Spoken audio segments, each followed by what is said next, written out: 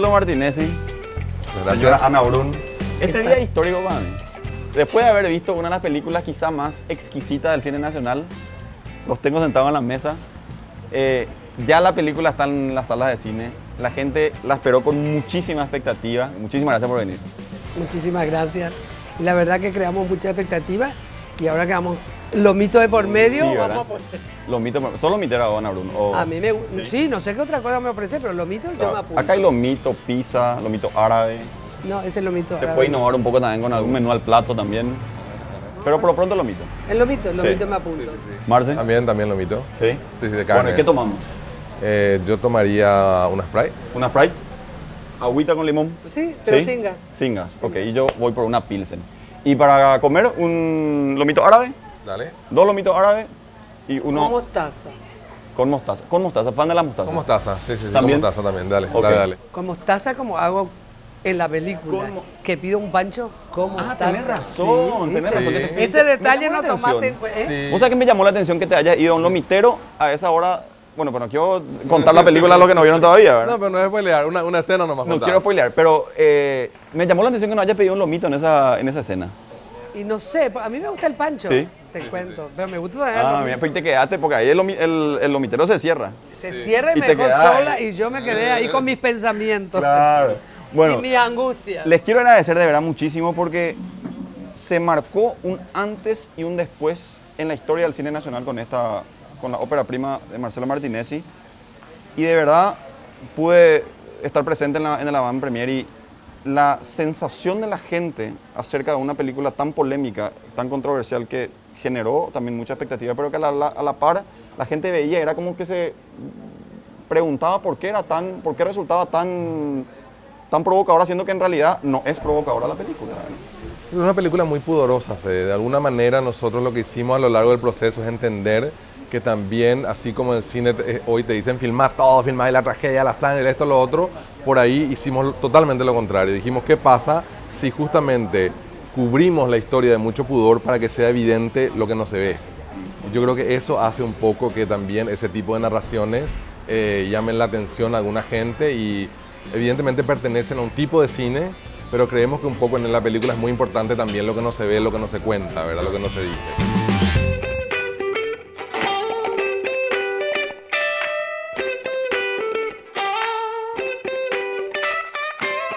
Meryl Streep, Nicole Kidman, Charlize Theron y Anna Brun ganaron las, los Osos de Plata en Berlín. Es cierto. Liz Taylor también. Liz Taylor también. Sí. ¿Qué, ¿Qué sentimiento te invadió en ese momento, Ana? Porque yo te veía en el- al momento de recibir el premio, al momento de que di- dijeron tu nombre, que este eh, director eh, japonés había dicho tu Sí, nombre. sí. The Silver Bear for Best Actress goes to Anna Brun. Y de verdad se te notaba completamente desconcertada. ¿verdad? Sí, sí, sí. ¿Qué, qué te invadió en ese momento? Y, no, y yo, yo te digo sinceramente y- y que yo estaba segura de todas las críticas buenas, toda mi actuación por lo visto gustó, pero yo no aposté, yo no, yo no pensé, porque no, no, no creí sinceramente que iba a poder competir ni con la francesa ni con la alemana, que estaban también más o menos compitiendo, ¿verdad? Y, y mucho menos que vengo de un país que es tan invisible en el aspecto de cine, de cinematográfico. Dije, no, yo no creo. Entonces me fui tranquila, nada más que para disfrutar del, del- El show, el hecho cuando me, di- me dijo el, el no- cuando dijo el, japonés el nombre, yo casi me muero, me saco los auriculares y, y no sabía qué hacer. Él me abraza de atrás, me da un beso y no, no- te, te juro que no sabía que te- no, no- no- no tuve, no, tuve ningún pensamiento, estaba reconfundida. Y, y por supuesto que no tenía preparado nada. ¿Qué iba a Claro, y decir? en ese momento, te, te- claro, te, me quedé en a- blanco, me quedé en blanco. Y lo que me sí es que me acordé de mi mamá. Yo por eso siempre digo que por lo visto, no sé si será que medio me, me- me pasó el chip ahí o me pasó el... Ayúdame, le dije. Ayúdame. Y entonces me levanté y es largo lo que tuve que caminar. No, tampoco ahí atiné a pensar a ver qué digo, qué no digo. Me fui en blanco.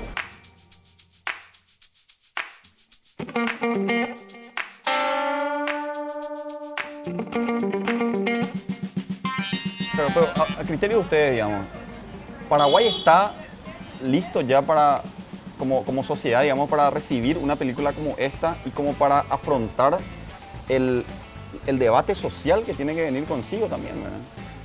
La verdad que nunca pensamos en eso. La verdad que yo creo que si uno piensa en eso se empieza a poner un montón de límites y me parece que eso siempre es malo cuando uno quiere crear algo.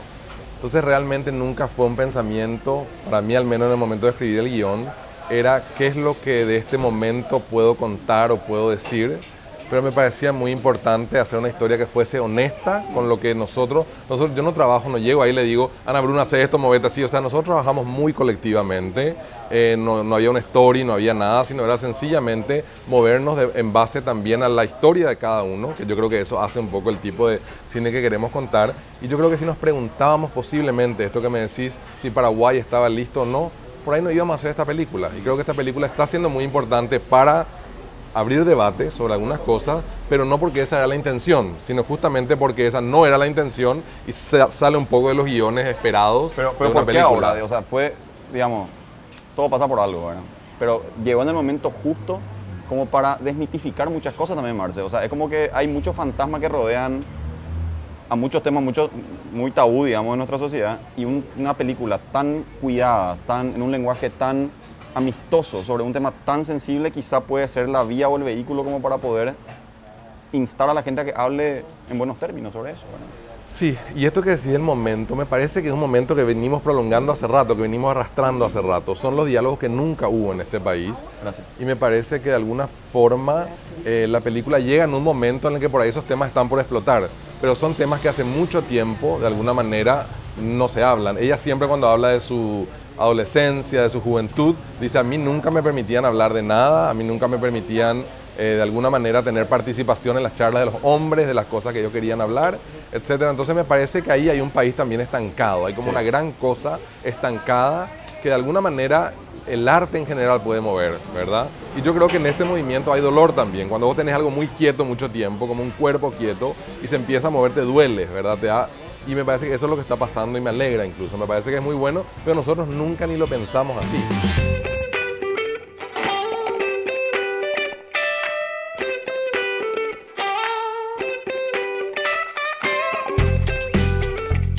Hay muchas cosas que interpela esta película, en muchos aspectos.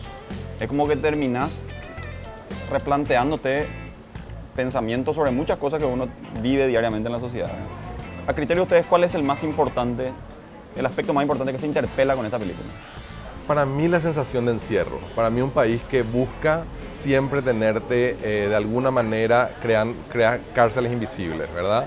En relaciones, en clases sociales, en edades, en un montón de cosas, en una sociedad que todo el tiempo procura ponerte una etiqueta y ponerte ahí, ¿verdad? Vos ya sos vieja, vos ya sos solterona, vos ya sos esto, todo y a partir de ese encierro, de repente todos de alguna manera empezamos a perder libertades, ¿verdad? Y creo que siempre me parece que lo, medular en la película es la sensación de encierro, que para mí, yo viajo mucho y siempre cuando llego a Paraguay empiezo a poco a sentir esa sensación extraña de que acá pasa algo que todo el mundo se... Y es algo también muy, muy fuerte en sociedades que pasaron por una dictadura muy larga, ¿verdad? Y también saben qué, Marce, disculpame que te interrumpa, en el tema en sociedades mediterráneas yo siempre digo que el fenómeno de la, Mediterránea no es un fenómeno geográfico nomás, es un fenómeno cultural y que estamos padeciendo hoy. Por eso que es tan importante de repente valer. Claro, que estamos también encerrados físicamente, ¿verdad? Exacto.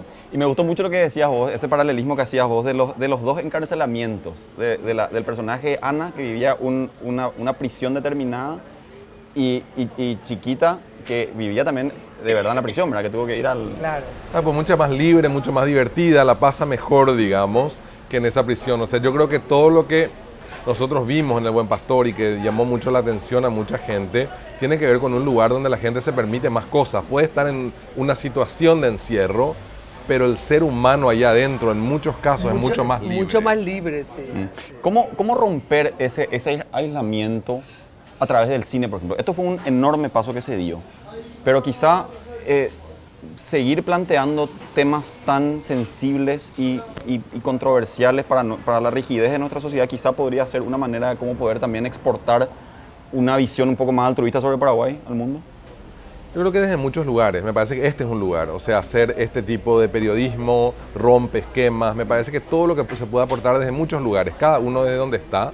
Por eso nosotros también creemos que de alguna manera nos estamos sumando a un montón de luchas que vienen peleándose por ahí con menos visibilidad en este país, de gente que necesita mirar al futuro, de gente que necesita de alguna manera que esto nos siga siendo esa, e, e, e, ese país que parece a veces 1950, ¿verdad? Y esa sociedad que tiene muchísimo miedo.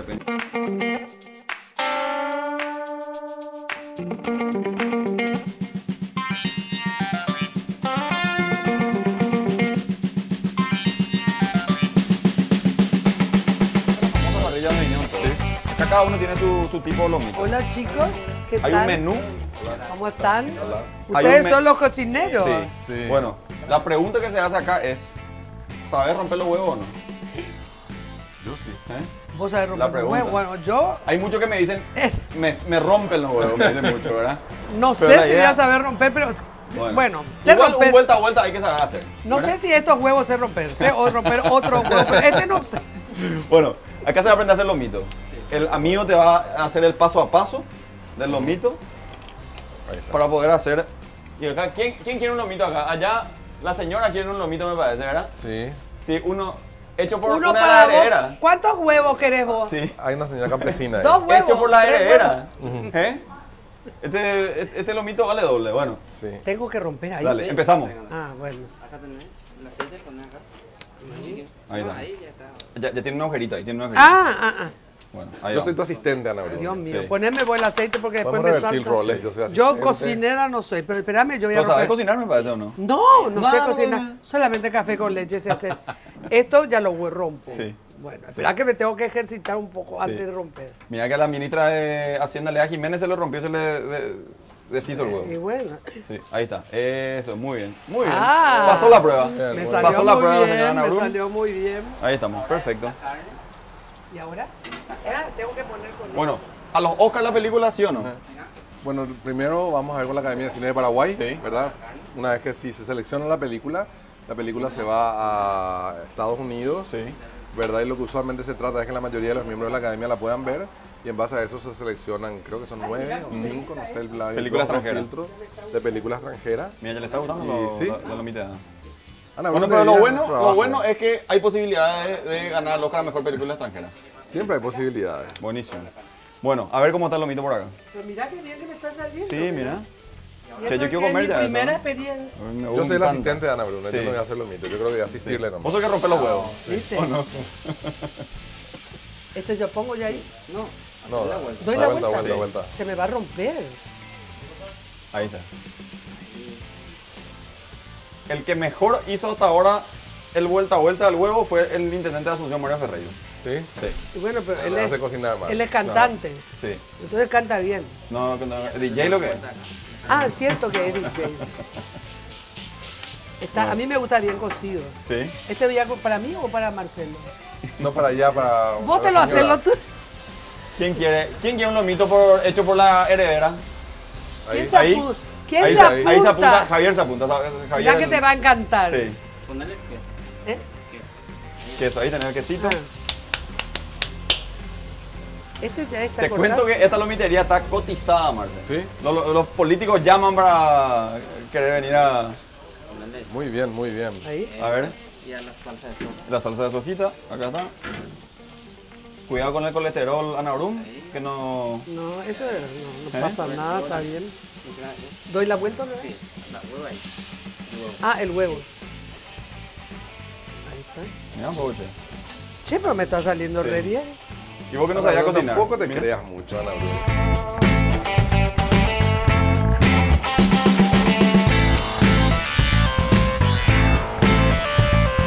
Atenti porque este es el desafío, señores. ¿eh? ¿Cuál es el- Este es el desafío. A ver si pasa la prueba Ana Brum. Ganó el oso de plata en Berlín, pero vamos a ver si pasa la prueba del lomito. Ah, hasta ahora voy bien. Sí. Hasta ahora voy bien. A ver.